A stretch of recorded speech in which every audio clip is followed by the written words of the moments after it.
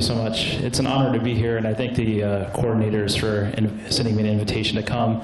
Uh, it's also exciting to be in the place where isoprene chemistry was asked again about whether or not it would make SOA from Brazilian uh, campaigns that were done in the early 2000s. So. Um, this is the group that's been actually doing most of the work that I'm going to present today, and I feel like I should acknowledge them before I get into the details of my talk. Um, so, uh, particularly, I'm going to be presenting work from Dr. Ying-Hsuan Lin, uh, Theran Riedel, and uh, Sri Hapsari Bodhisulas. Um, so, uh, th- these folks, that's Sari, Ying-Hsuan here, and Theran. And uh, we've also been collaborating with uh, Joel Thornton's group and uh, Faye McNeill for modeling and my SOAS collaborators and of course, funding. So this is our current picture of what we think, uh, or how SOA formation occurs from isoprene oxidation. So once isoprene is emitted from the surface, we know that the primary uh, reaction pathway is through the hydroxyl radical chemistry. And so once we make the initial peroxy radical, really the fate of this radical dictates the type of SOA that you're going to get uh, from isoprene. So in particular, the level of nitrogen oxides that are present in the atmosphere. So if you have high NO, you'll go through the methacrolein pathway pathway where it will further oxidize to give you PAN. And we've shown through some laboratory studies and uh, uh, modeling that uh, you can get methacrylic acid epoxide, and then that goes on to make some of these known aerosol phase tracers. So everything that you see boxed in the aerosol bubble are compounds we detect both in the laboratory and also in field samples throughout the southeastern United States. And then if we're more in a lower NO regime, we know that the uh, peroxy radical chemistry uh, through Paul Wennberg's uh, group's work goes on to make the isoprene epoxidiols, and they can reactively uptake into wet acidic aerosols as well to make other known uh, uh, compounds, such as where the 2-methyl tetrols, which were discovered in Brazil. And more recently, uh, Matt Elrod's group has shown that uh, you can actually make hydroxynitrates in the gas phase that will actually react and make some fraction of uh, isoprene epoxidiols.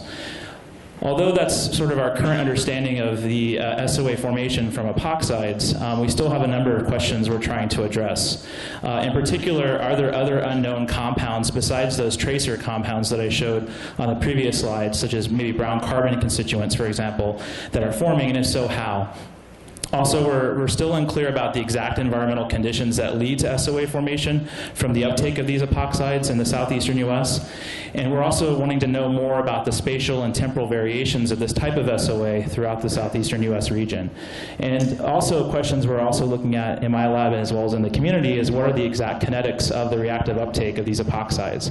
And more recently, my, my group's also been trying to do exposures of the SOA we generate in the lab to human lung cells to look at the potential potential health effects of this aerosol. But in this talk, I'm mostly going to focus on the first four questions. I'm attempting to do a lot in 20 minutes. Um, so this is our approach right now is we're, we're really relying on organic synthesis to make these epoxides and then use that uh, capability in our field studies, flow tube studies, and smog chambers, and using mass spectrometry, we hope that we can better derive the parameterizations that we need to improve the atmospheric modeling of SOA formation from isoprene. So um, I first wanted to start off talking about other types of SOA constituents, such as brown carbon, that might be forming from this chemistry.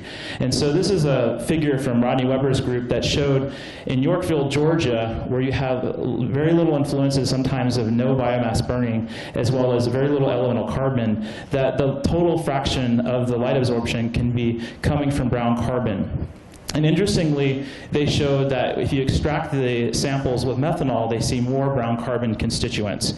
And what's unique about Yorkville is it's kind of a rural site, and we've actually made field measurements there, and we've shown that the IEPOX chemistry really dominates there, and we, we see about 20% of the total OM being from this chemistry, just for those known tracer compounds. But when we saw this paper, we really became interested in it and really wanted to re-ask the question, can we make brown carbon through the IEPOX uh, particle phase chemistry? So we wanted to do some more chamber experiments under various conditions of aerosol composition absorption, seed, uh, seed aerosol acidity, and also uh, relative humidity.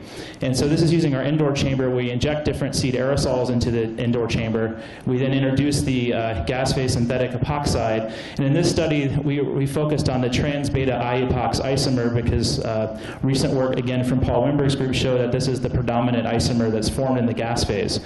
And then once the aerosols and the, of course, the epoxides interact, we get aerosol growth, especially in the acidic cases. Um, and then we get these aerosol constituents that we've seen before. And then we collect the aerosol for offline chemical analysis using a suite of you know, offline GCMS, LCMS, and other techniques.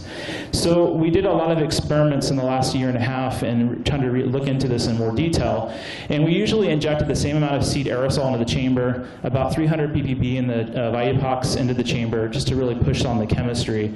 And what we found is that in the dry acidified magnesium sulfate case, we actually could start producing visibly brown carbon on that filter. But all the other filters that we collected, even though they had higher aerosol mass loadings that were being produced, uh, made this brown carbon. And we were very interested about this. And this also seemed to suggest that the brown carbon that's forming may be cutting off uh, the uptake of further IEPOX molecules to grow the aerosol mass.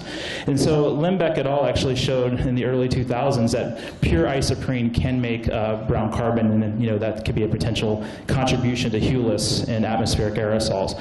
So we wanted to go after this this, but one thing I wanted to point out in terms of why this was occurring, we, we thought that maybe because of the modeled acidity in these experiments was the lowest for this case, this dry acidified magnesium sulfate aerosol experiment. So we then used UV-Vis to look at the, uh, the absorption properties of the aerosols, and of course, you know, corresponding to all that brown that you saw in the filter, we saw a lot of absorption in the near UV visible range. And we took the approach that uh, Sergei Nizkorodov's group at UC Irvine has done in terms of calculating the mass absorption coefficient. And um, so what we found, of course, is that the acidified case uh, had the largest MAC value. And this MAC value is similar to what Sergei's group has seen for other biogenic SOA types where they've exposed ammonia. And so the thing I want to stress that is in our magnesium sulfate case, we're not using any nitrogen in the system, so there's no uh, influence of that chemistry here. So we did LCMS uh, separation, and our LC is coupled to a diode array detector. So as we do the chromatography, the reverse phase chromatography in this case, we're also getting the uh, absorption uh, uh, TIC, or total ion chromatogram here. So essentially what you see here is in the early eluting areas here, we see compounds, um, there you go, compounds that we found that are very uh, fully saturated, there's no unsaturation in them, so they're basically polyols, and they don't have any uh, light absorption. But in this later region, we find that there's actually more light absorption uh, in the spectrum, and we're using positive uh, electrospray ionization mass spectrometry to detect some of this. But what you notice is in the positive ion mode, we're not seeing everything that looks to be absorbing in the diode array detector. But these compounds tell us something about maybe what's going on in the aerosol phase.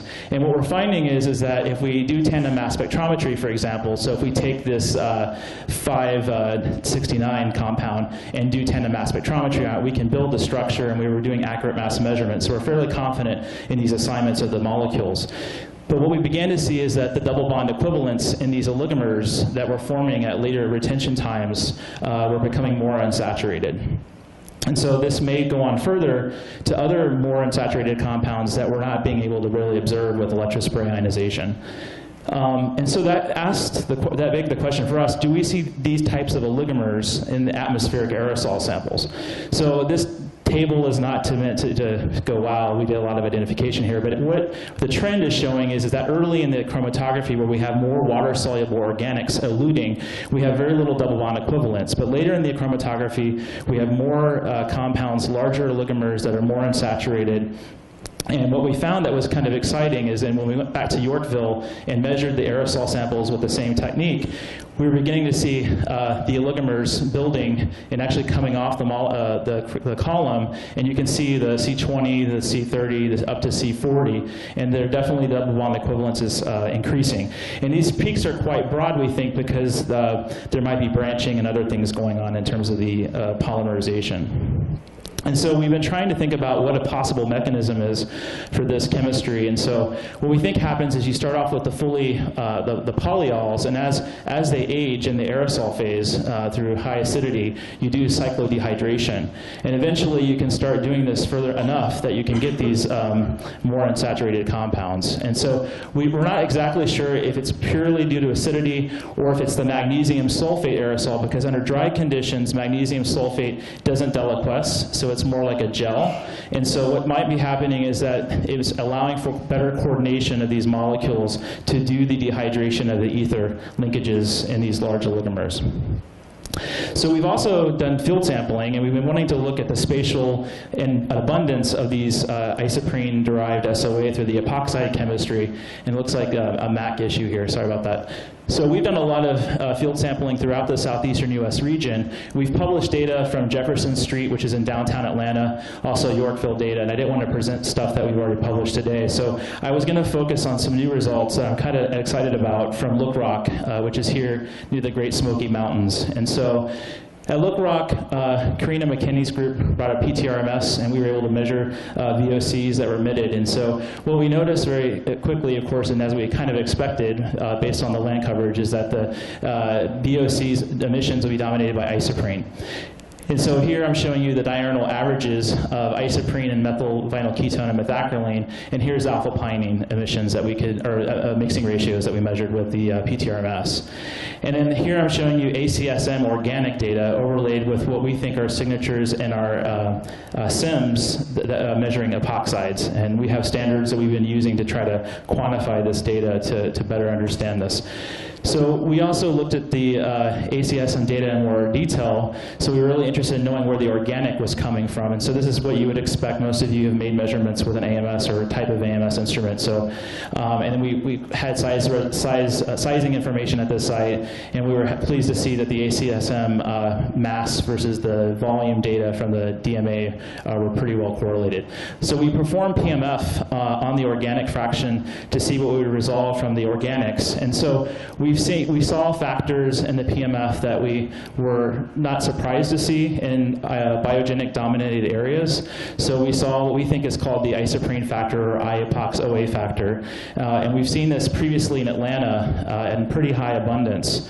Um, we saw LVOA, and of course we saw this 91 factor, and uh, many groups in the Amazon uh, have seen this factor, and it's a little bit unclear on where this is coming from. I know others have seen it, like Jon Abbatt in the uh, Canadian areas as well. So um, we also did ME2 just to check the PMF. Um, it's just a hybrid of CMB and PMF really, and we're working up these results. But what we found that was interesting is there wasn't really a diurnal variation in the IEPOX signal, but we're sitting on a mountaintop, and so we're trying to work through uh, the complexities of that to better understand this. Whereas in Atlanta, we actually saw more of a diurnal profile uh, in the IEPOX factor. But it's striking because when you look at this, it's about a third of the mass uh, at Look Rock we think.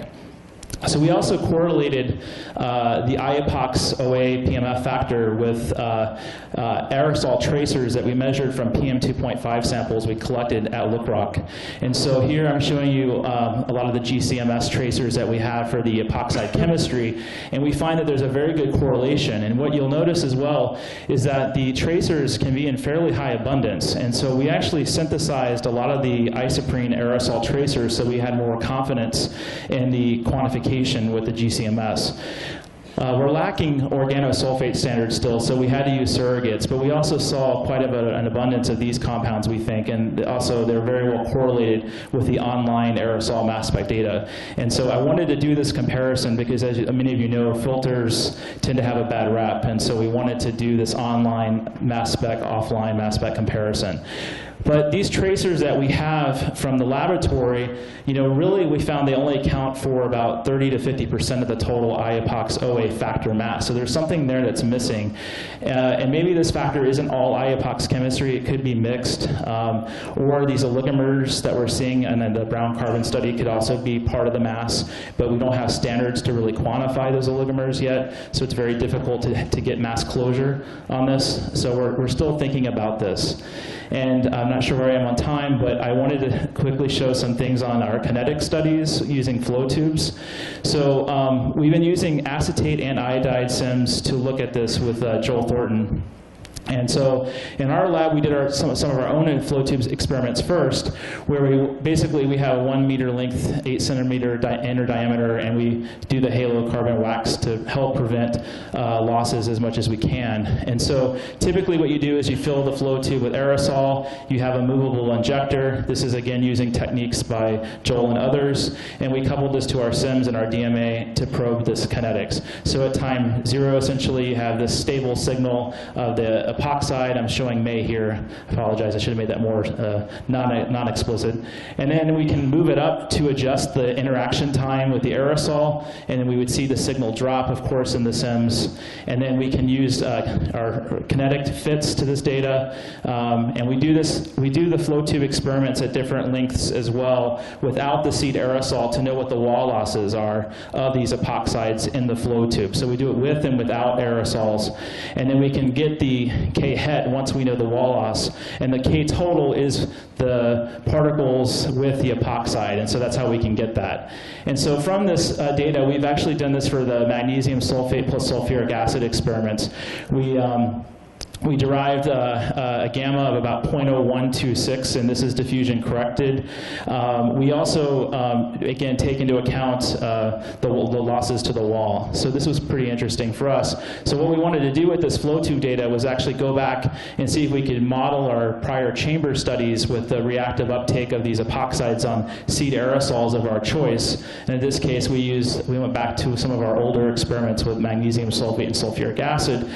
Uh, and so what we do is we account for wall losses of the epoxide in the chamber. So we run separate chamber control experiments to know what the wall losses of both the epoxide and the aerosols are. We take that into account. And you can see with the gamma we derive from our flow tube studies, we can fit the data fairly well. But the knob you have to turn in this is, of course, is what is the SOA yield. So we still have to take that into account. So that was the main knob we turned. And by turning this knob, we found that about 3.5% is what we would need.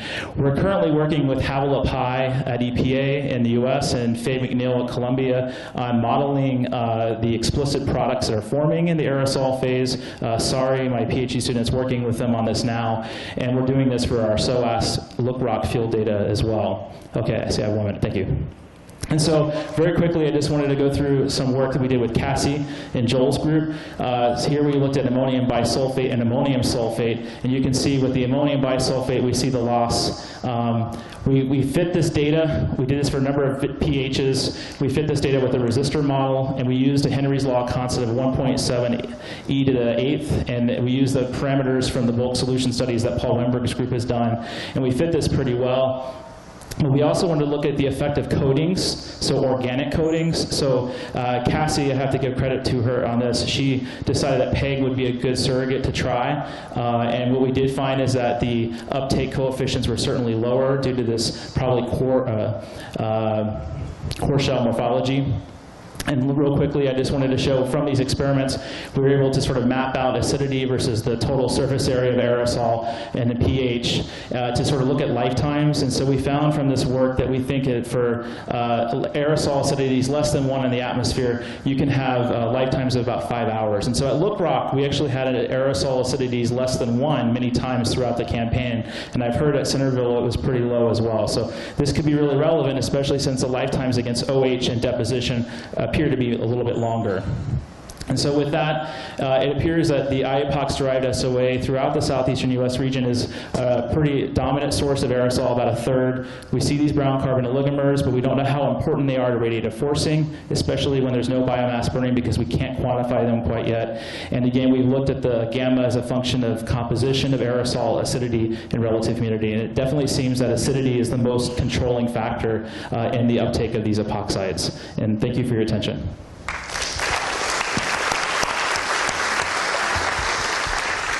Thank you very much. We have time for one or two questions.